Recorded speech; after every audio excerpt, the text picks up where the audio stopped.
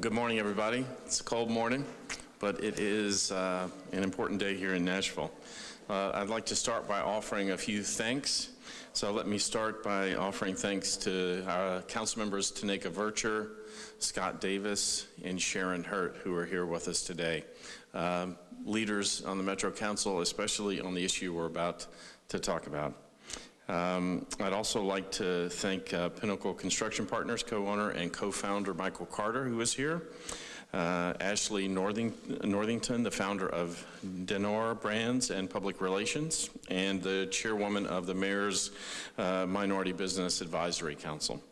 Uh, Carolyn Waller with the Nashville Black Chamber of Commerce, Yuri Cunza with Nashville His Hispanic Chamber, Marcela Gomez with the Tennessee Latin American Chamber. Marilyn Robinson is here as well, I see.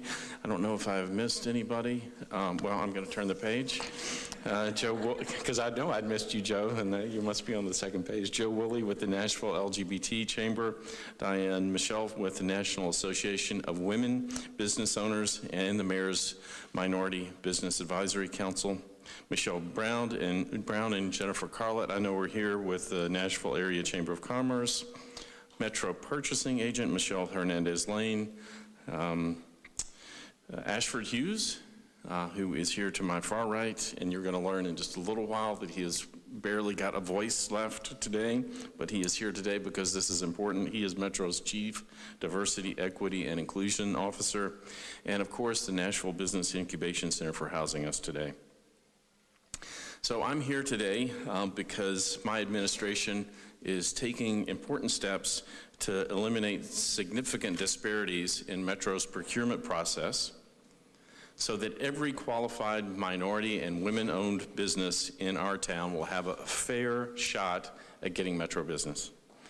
The disparity study that Metro government uh, commissioned back in 2017 and released this fall found that these disparities are likely caused by race and gender of business owners, and that Metro is a passive participant in this unlawful discrimination. Clearly, this is wrong, and it's something that we as a community have an obligation to fix. And as the mayor of this city, I am taking that obligation very seriously. I'm committed to making sure that economic opportunity is available to everyone in our city. And to do, to do this, we need to unleash the potential of each and every business and individual that resides in Nashville. Earlier this year, I appointed the Mayor's Minority uh, Business Advisory Council to advise me and my administration on ways to open up our markets and identify new opportunities for minority-owned businesses in Nashville. We've been working with other advocacy groups like the NAACP and the Urban League, as well as other business uh, leaders across Nashville, to make uh, the procurement process more transparent and inclusive for the community at large. Then the disparity study, an independent study by consultants from Griffin and Strong law firm found that Metro's procurement process has failed to support minority-owned and women-owned businesses in Nashville. S simply put, they haven't received as much business with the city as they should have.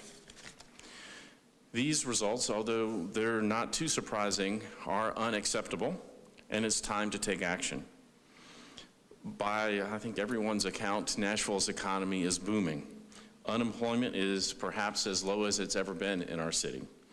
Uh, but not everyone is benefiting. That's clear to me as mayor. I hear it every day. Um, if we're going to succeed as a community, every single segment of our city should find a way to be able to participate, share in the collective prosperity, and grow wealth in their families and in their businesses. My commitment as mayor is to create a new Nashville where each and every one of our, of our residents has an opportunity to succeed and where we are supporting all of our residents. To get this right, we have to attack some systemic problems that we have in our community. Um, some systemic problems that underlie, underlie the data that we have um, uh, discovered as part of the Griffin and Strong study. Uh, Metro Council members Tanaka Vercher, uh, Sharon Hurt, and Scott Davis are going to sponsor and are sponsoring legislation to create an equal business opportunity ordinance, which will establish for the first time in the city of Nashville annual race and gender procurement goals for Metro as a whole, as well as for specific projects with accountability measures, again, for the first time, with accountability measures that will um, guarantee performance by prime contractors that the city employs. These measures will be based on market availability because that's what the law requires. And it's market availability of minority-owned and business and women-owned businesses here in Nashville. And they will give our procurement program the teeth it certainly hasn't had in the past. That's what this is really all about, putting teeth into our procurement program. We'll periodically review the availability, and as availability changes, our goals will change to reflect growing availability of minority and women-owned businesses in this community. I think this is the right thing to do. I know everybody here shares that sentiment with me. But uh, that's not the only reason to do it. It's actually the smart way for Nashville to grow as a community. Helping our city's minority-owned and women-owned businesses, helping them succeed is going to lift us all up. It's going to help Nashville grow as a community at large, much more quickly and much more fairly, much more equitably. That is my principal goal as mayor, to make sure that this moment of, pro of prosperity is equitably shared across our community. I want to thank uh, Council uh, Lady Vercher, Council Lady Hurt, and Councilman Davis uh, for sponsoring this legislation. I know with their leadership, the vast majority of the Metro Council will get on board and support and adopt this legislation. And I ask for the council to act with all due haste to get this done so that we as a city can make the improvements we know we need to make. I'm available starting after this meeting to meet and talk with any single Metro Council member who has any questions about this so that we can get those questions answered and get this legislation adopted quickly. Additionally, we'll be taking uh, administrative action um, to the extent we need to to adjust our procurement regulations so that they match up with the recommendations from Griffin and Strong and with the data that we discovered in the disparity study. We know that we'll have to make um, some changes to our procurement regulation in order to level the playing field, because that's what this is all about. So that minority-owned and women-owned businesses um, uh, have a chance to compete across the board. We'll be setting aside uh, certain contracts exclusively for small businesses in our community. We will also reconcile any inconsistencies that there might end up being between the ordinance that the council members are proposing and our current regulations. We'll develop an enhanced communications plan to, to help minority-owned and women-owned businesses understand Metro's programs and how they can better prepare for future procurement opportunities that we'll have. We'll also develop a robust support uh, services network through partnerships uh, with the various chambers of commerce in the city the Nashville Business Incubation Center, and the, the National Association of Women Business Owners, and other organizations. And once Ashford Hughes gets over his cold, uh, the city's uh, chief diversity, equity, and inclusion officer will take the lead on implementing these steps. Um, I'm proud that Ashford um, was one of, if not the first um, change in the mayor's office that was made after I became um, mayor back in March.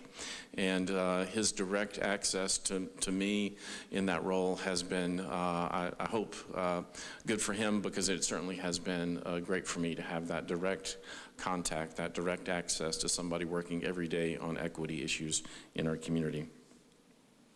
So I'm not going to rest, our city is not going to rest until I can see that Metro is spreading the wealth to every single corner of our community. Um, equitable opportunity is not just a priority, it is the single most important priority to this administration, to me personally. The more diverse we are as a community and the more we support that diversity by ensuring that everyone can partake in our prosperity, the stronger we will be as a city. So um, we made a big deal of, of, this announcement today about a single piece of legislation. because I believe that in this city, there is mo- no more important issue that we can confront than making sure, making sure that in this moment of prosperity, that everybody gets a chance to participate in it. We know that that is a critical, enterprise-threatening uh, challenge for this community, and I am committed every day to working to make sure that we make progress on that issue. So thank you all very much for coming today. I'd now like to invite uh, Council Lady Tanaka Vercher to offer a few words.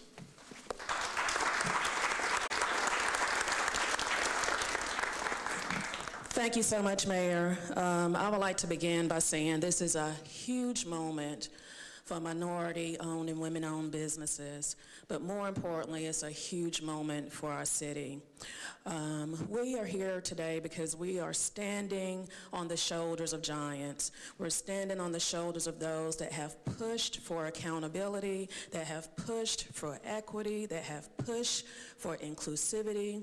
We're here because of many of them, and many of you are here actually in this room. We have a commitment, a strong commitment from our mayor, and just want to publicly thank him for pushing us forward and leading this so that we're here at, at, this, at this huge moment. This is huge. This is huge for our city. I can't, you need to clap on that. I want to thank our sponsors, um, Council Lady at Large Sharon Hurt to my right, um, Council Lady at Large Erica Gilmore also, has also joined us, um, Councilman Scott Davis.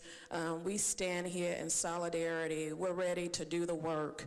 We know there's been huge gaps as it relates to um, equity and opportunity for, for women-owned businesses, for minority-owned businesses, and this is long overdue. This is the right thing at the right moment. This is about removing barriers. This is no more excuses. So now we need to get to work. Um, I'll turn it over to uh, Michael Carter. Um, that's going to come up um, and provide us with a business community perspective. And, and thank you so much.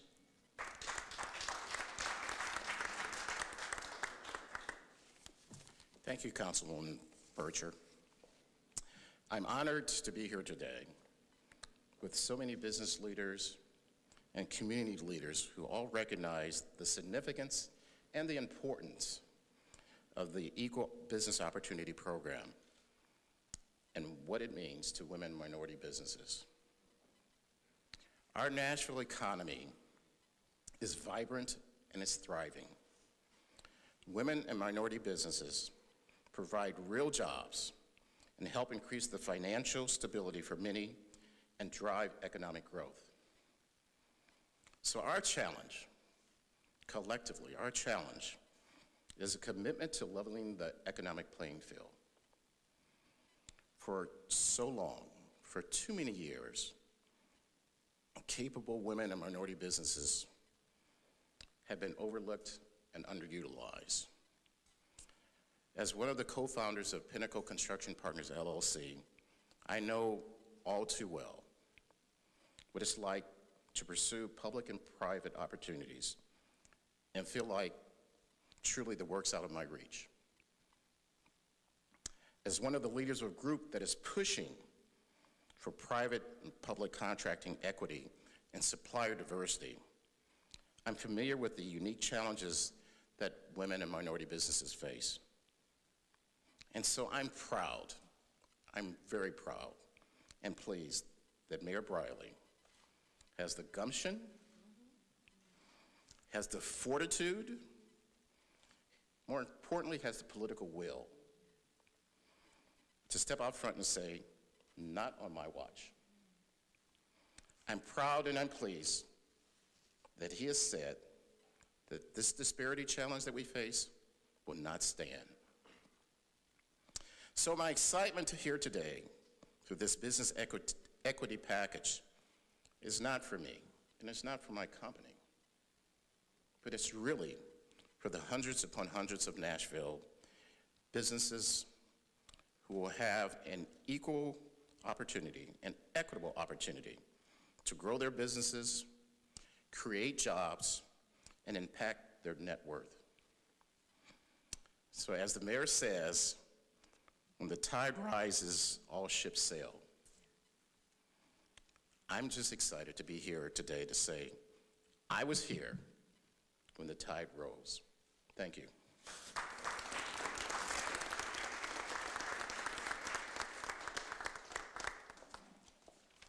Good morning.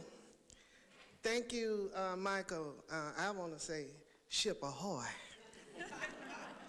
but I, I, I, must say that um, if you do what you always done, you're going to get what you always got. Today, we are moving forward. Today, we will no longer do what we once did. And I am so proud and so happy and thankful for our mayor, for the courage that he has shown, and I hope that he will continue because we will be watching and making sure that the accountability and enforcement of this legislation takes place. So we thank you very much for stepping out doing this. And for Ashford and the work that he has done, Michelle, we really appreciate it. And Tanaka mentioned the shoulders of people before, and, and, and with former council member Jerry Maynard being here and council member, former council member Don Majors, I have to speak your names because if it were not for the path that you both blazed for us, we wouldn't be able to do it today. And for that, we are sincerely grateful. Thank you.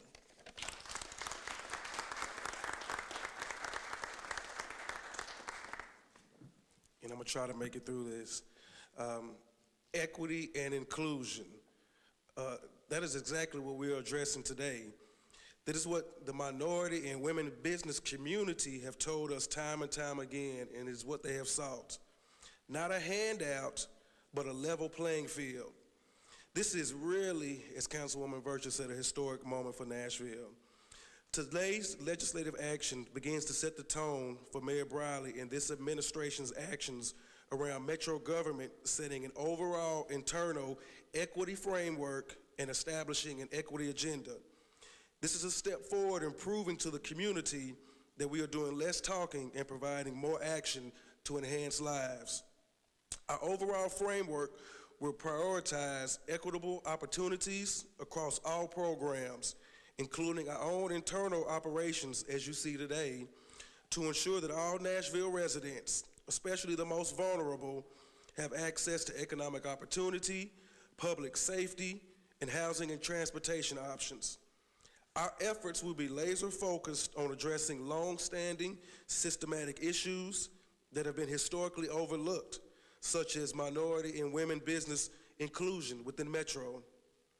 We have already begun some of this work, starting with Mayor Briley allocating $25,000 to each of our large ethnic minority chambers to work on their capacity building within their membership.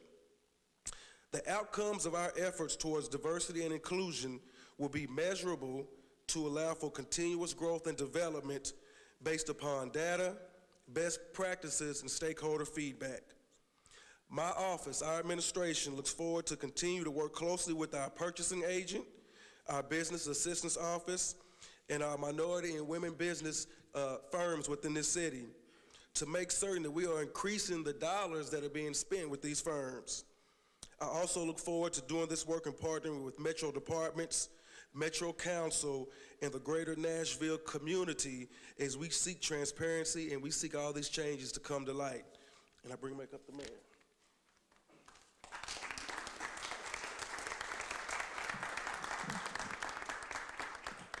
Thanks, uh, uh, everybody, for coming and uh, for being patient and listening to us. If you do have any questions, uh, we'll be glad to, to answer them.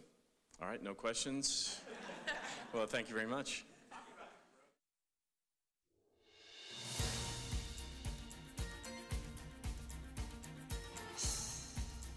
This has been a service of the Metro Nashville Network.